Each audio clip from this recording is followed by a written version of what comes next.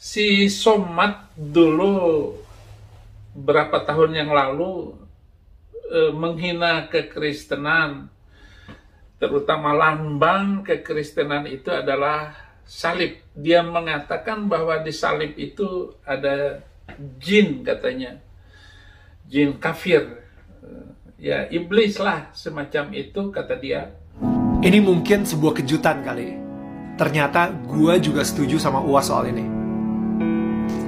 Bahwa kalau gue mungkin sebutnya ada unclean spirit, oke, di patung. Ketika patung yang dibuat oleh manusia disembah. Wait, wait. Sebelum lo mau komentar, lo harus baca dulu. Ini again buat orang-orang yang mengakui sebagai pengikut Yesus. Oke. Gue pengen kalian baca dulu Yesaya 44 ayat 13 sampai 20. Baru lu bisa komentar di bawah. Oke, lu harus baca itu dulu baru lu bisa komentar. Sebelum lu baca itu, jangan komentar dulu. sebenarnya sekilas memang tidak ada soal sebenarnya ya. Tidak ada soal dengan apa yang dikatakan karena dia berbicara tentang adanya roh jahat di balik eh, patung yang disembah.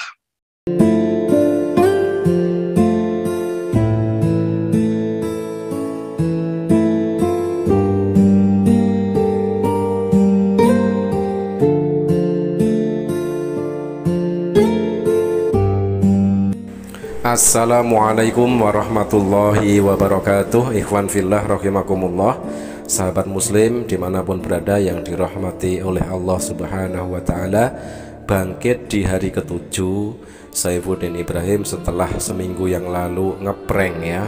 Kini sudah mulai berani muncul kembali di channel Saifuddin Ibrahim yang baru dan di sini Saifuddin Ibrahim langsung nggak bisa move on mengulang kembali statement dari Ustadz Abdul Somad beberapa tahun yang lalu. Nah, di sinilah ya Saifuddin Ibrahim kembali mengkait-kaitkan itu dengan MKC. Notabene sekarang Saifuddin Ibrahim ini telah dikhianati oleh anak MKC yang sudah berselingkuh dengan istrinya, tetapi ketika posisi MKC sekarang sudah difonis 10 tahun dan menjadi enam tahun ada keringanan di situ tetapi masih tetap saja koar-koar membela MKC Oke sahabat kita simak dulu statement dari Saifuddin Ibrahim yang menyinggung statement Ustadz Abdul Somad beberapa tahun yang lalu. Mari kita dengarkan sebelum kita reaction eh, saudara-saudara si Somad dulu berapa tahun yang lalu eh, menghina kekristenan terutama lambang kekristenan itu adalah salib. Dia mengatakan bahwa di salib itu ada jin katanya. Jin kafir. Ya iblis lah semacam itu kata dia. Dan dia katakan itu dan sampai terkenal saya sudah komentar, sudah protes kepada polisi dan bahkan sudah ada empat laporan agar si Somad ini ditangkap. Tetapi ternyata Bareskrim tidak mau menangkapnya asal jangan dia. Boleh orang lain ditangkap.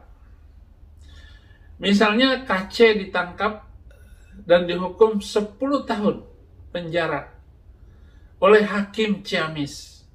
Oleh Hakim Ciamis dan oleh rekayasa-rekayasa yang luar biasa karena sayalah yang menjadi koordinator KC waktu itu dalam rangka membela dan menolong KC bahkan saya eh, mengeluarkan memberikan kesempatan dan berkuar-kuar agar mendapat donasi dan terkumpul cukup dari saudara-saudara yang menolong MKC. Saudara, Saifuddin Ibrahim kembali mengungkit-ungkit statement dari Ustadz Abdul Somad beberapa tahun yang lalu yang menyatakan bahwa di dalam patung itu ada jin, jin kafir. Nah itulah yang membuat Saifuddin Ibrahim birang dan marah-marah. dan tidak terima sehingga Saifuddin Ibrahim berusaha beberapa kali melaporkan Ustadz Abdul Somad tetapi laporan tidak ditanggapi dan justru malah MKC ketika itu yang terkena masalah penistaan agama yang langsung ditangkap ya sedikit-sedikit lapor sedikit-sedikit lapor itu propaganda para debater Kristen ya menilai dan menuduh umat Islam melakukan hal tersebut tetapi justru di sini terbukti yang lapor itu siapa Saifuddin Ibrahim ini yang melaporkan Ustadz Abdul Somad dan kasus Saifuddin Ibrahim sendiri juga seorang penista agama dia sendiri juga menjadi tersangka sekarang buron karena yang melaporkan siapa? Yang melaporkan Saifuddin Ibrahim adalah seorang ibu-ibu beragama Kristen sendiri. Nah, itulah ya soal lapor melapor ternyata di sini pelakunya para umat Kristen.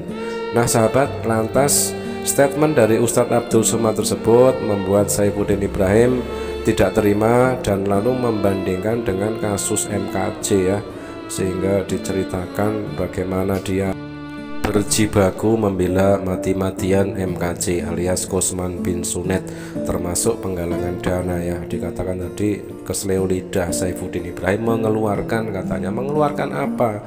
Dia justru mencari kesempatan di dalam kesempitan ya terkumpul dana 1,5 miliar ketika itu Saifuddin Ibrahim menggalang dana dengan live dengan istri dari MKJ yaitu Watmah ya. Dalam sekejap terkumpul dana segitu banyaknya. Nah pertanyaannya dana segitu banyaknya itu diserahkan semuanya atau tidak Din? Nah itulah ya.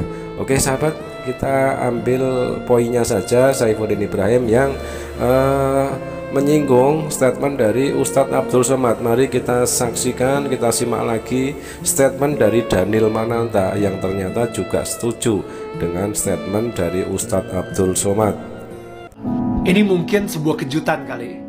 Ternyata gue juga setuju sama UAS soal ini.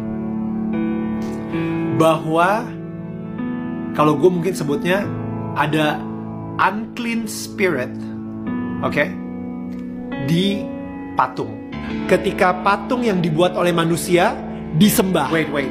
Sebelum lo mau komentar, lo harus baca dulu. Ini again buat orang-orang yang mengakui sebagai pengikut Yesus. Oke? Okay?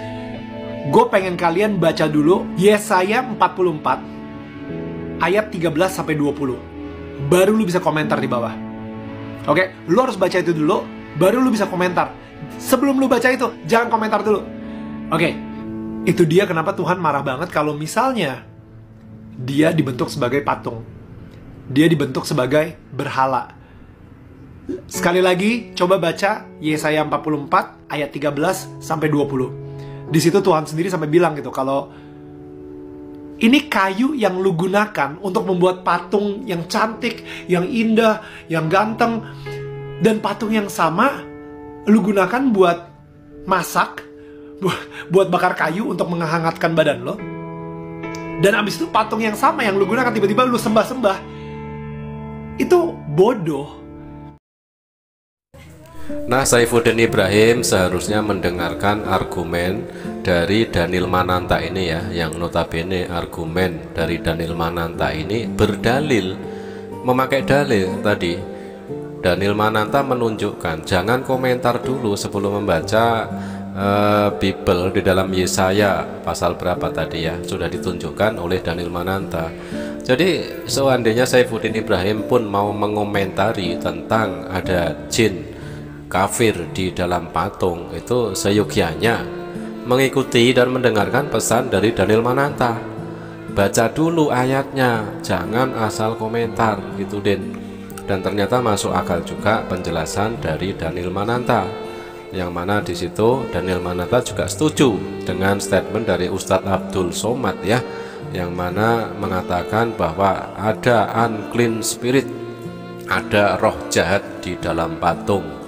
Gitu Den makanya sangat jelas sekali terlihat ya kapasitas keilmuan dari Saifuddin Ibrahim versus Daniel Mananta ini.